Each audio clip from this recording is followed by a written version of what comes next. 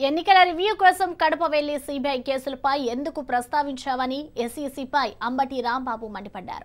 ఎన్నికలు నిష్పక్షపాతంగా జరగాలని అధికారులు కోరుకుంటున్నారన్నారు. చంద్- చంద్రబాబు మాట్లాడినట్లు నిమ్మగడ్డ వ్యవహరిస్తున్నారని పేర్కొన్నారు. మీడియా ప్రశ్నలకు నిమ్మగడ్డ ఎందుకు సమాధానం చెప్పడం లేదని ప్రశ్నించారు. అక్కడ చెప్పారు మొన్న పర్యటనలో నిన్న. ఎక్కడ మీడియా స్ట్రాంగ్గా ఉంటే అక్కడే ప్రజాస్వామ్యం బలంగా ఉంటుంది. బాగుందబ్బా. మరి ఏమయ్యా? ఎన్నికల కమిషనర్ గారు నిమ్మగడ్డ రమేష్ కుమార్ గారు మీడియా వాళ్ళు అడిగిన ప్రశ్నలకు సమాధానం చెప్పకోకుండా జంప్ అయిపోతున్నావే? నీ గుర్తించదు అది? మీడియా స్ట్రాంగ్గా ఉందంటే ఏంటి అర్థం? నేను ప్రశ్న అడగకోకుండా ఉండాలా? నిన్ను ప్రశ్నిస్తే మీడియా సమావేశాన్ని ఏర్పాటు చేసుకొని మీడియా వారిని అందరినీ పిలిస్తే నువ్వు మీడియా చెప్పిందంతా వాడు నువ్వు చెప్పిందంతా మీడియా వాళ్ళు విని కొన్ని అర్థం కాని వాటికి ప్రశ్నిస్తే కుదరదు కుదరదు అని జంప్ అయిపోయేవాడివి నువ్వు. ప్రజాస్వామ్యవాదివా? నువ్వు మీడియా గురించి మాట్లాడే వ్యక్తివా? దీనికి సమాధానం చెప్పవలసినటువంటి అవసరం కూడా ఉంది అని ఈ సందర్భంగా నేను చెప్పదలుచుకున్నా.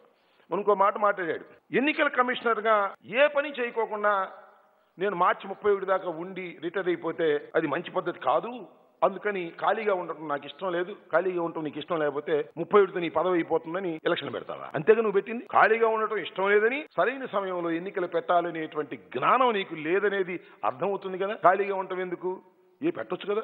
ఇంతకుముందే పన్ను రెండు వేల పద్దెనిమిదిలోనే ఎన్నికలు పెట్టుకోకుండా ఇవాళ నువ్వు ఈ మాటలు మాట్లాడుతున్నావంటే నీ అభిప్రాయాలు ఏమిటో మాకు చాలా క్లియర్గా అర్థమవుతా ఉన్నాయి. నువ్వు ఒక రాజ్యాంగ శక్తివి కాదు ఒక రాజకీయ వ్యాపారివి. చంద్రబాబు నాయుడు తొత్తువి. చంద్రబాబు నాయుడు జేబులో మనిషివి. ఒక వచనాన్ని అక్కడ చెప్పారు మొన్న పర్య